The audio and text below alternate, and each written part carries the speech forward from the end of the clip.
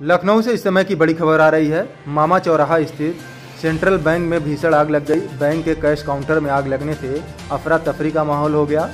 सूचना पर तीन दमकल की गाड़ियाँ आग बुझाने में जुटी हुई हैं। देर रात बैंक में आग लगने से लोगों में दहशत का माहौल है। बताया जा रहा है कि आग के कारण बैंक के दस्तावेज़ जल गए हैं। बैंक बंद होने के बाद आग लगी थी। आग किस कारणों से लगी है अभी इस बात का पता नहीं चल पाया है। अब तक इसका पुलिस पता नहीं लगा पाई है। यह पूरी घटना विकास नगर थाना क्षेत्र के मामा चौराहे की बताई जा रही है। इस खबर में बस इतना ही।